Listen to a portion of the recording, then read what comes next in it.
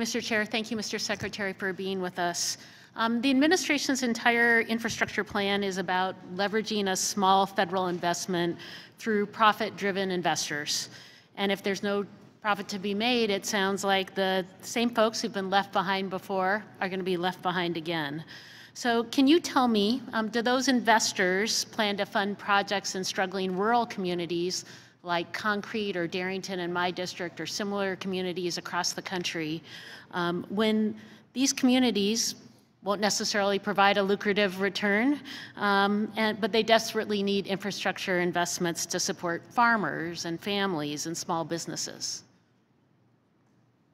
Well, I agree with you completely that there are there are many projects that won't have uh, returns for investors, and they need to be funded either through federal dollars or state dollars. Public-private partnerships are not appropriate for everything. Well, we um, have very few federal dollars uh, in the president's budget, so it's very concerning. Um, in fact, according to the White House, how the project will spur economic and social returns on investment ranks at the bottom in terms of deciding where dollars would go. It's just 5% of the formula for choosing projects versus 70% for the ability to secure non-federal funding. That's very concerning for rural communities.